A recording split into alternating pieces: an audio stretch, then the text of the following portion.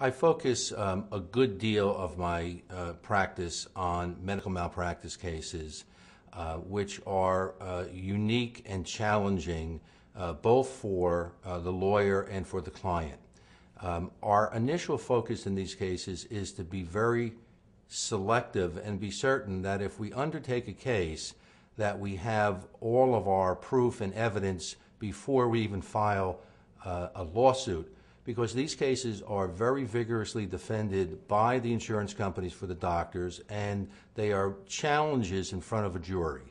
So the first the first direction that we take when we interview a client or a family is to determine and almost to assume that there is medical malpractice, but to determine what the damages are because most cases focus on whether the deviation or the malpractice has made a difference in the health and welfare of the individual. And this is known, it's a very tricky concept and it's constantly uh, litigated in court. It's known as proximate cause.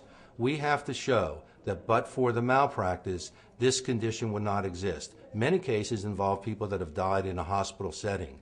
They have been admitted to the hospital with a condition that in and of itself may be life threatening. And now, as a result of what we will argue is medical malpractice, they have died.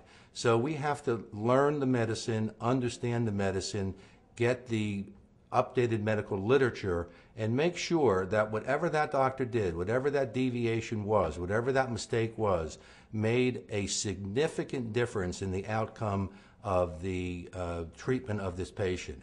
And so, in a sense, what we do is reverse our thinking assume medical malpractice, look at the damages first. If we have the damages, if we can show proximate cause, we then consult with all kinds of different doctors, uh, uh, OBGYNs, uh, neurologists, orthopedists, to establish what the mistake was under those circumstances. These are complex cases, they require a lot of attention, but they are always interesting and always challenging when we look forward to them.